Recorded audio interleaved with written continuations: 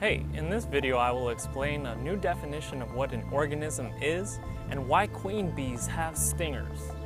The EVO seminar series hosted a talk with Joan Strassman, an evolutionary biologist who studies the evolution of cooperation and the control of conflict in microbial species. She is also interested in organismality, or the ways that organisms are created and defined, all the way from the extremely numerous microscopic bacteria and viruses ever abundant in our oceans to massive organisms like giant redwood trees, blue whales, and even us.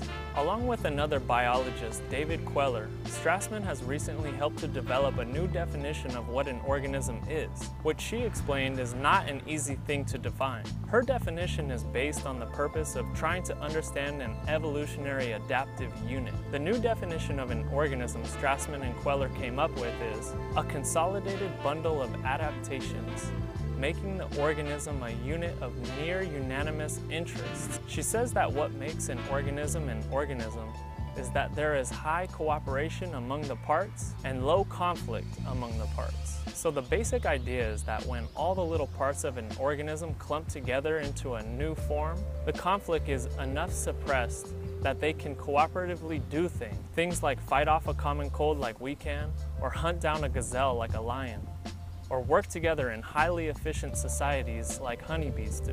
One of the key factors that Strassman explains as favoring organismality is conflict resolution.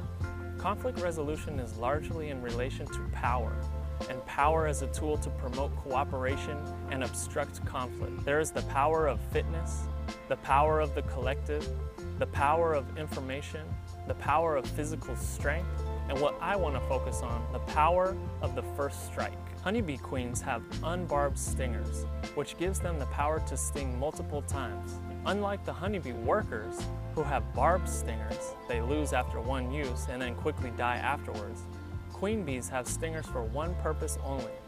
See, when a honeybee hive has a new colony cycle, they typically rear three or four queens in case something happens to one. So when a queen emerges from her cell, she will hunt down all the other queens and sting her sisters to death through their cells. That is the one and only reason that queen bees have stingers and shows the power of the first strike. If you like this video, you can subscribe to our EVO Seminar Series channel and check out Joan Strassman's full talk.